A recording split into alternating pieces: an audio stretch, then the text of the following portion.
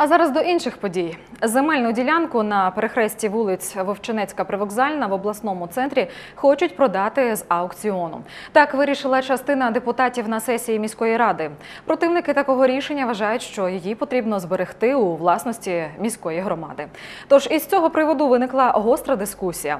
У ситуації намагалися розібратися і наші кореспонденти.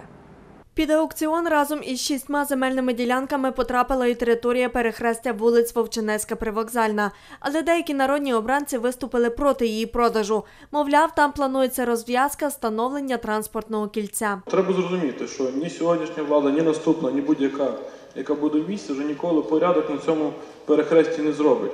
І це не завжди піде в приватну власність, і ми будемо мати нові проблеми. Тому я все-таки звертаюся до якогось здорового глузду, щоб ми зараз цей пункт зняли. Депутати також запропонували спочатку погодити проект розв'язки, а вже потім продавати. Зробимо спочатку план якби детального планування цієї території, а потім ті ділянки, які є там вільними, тоді винесемо на аукціон. Мені здається, що така буде десь вірніша логіка наших дій.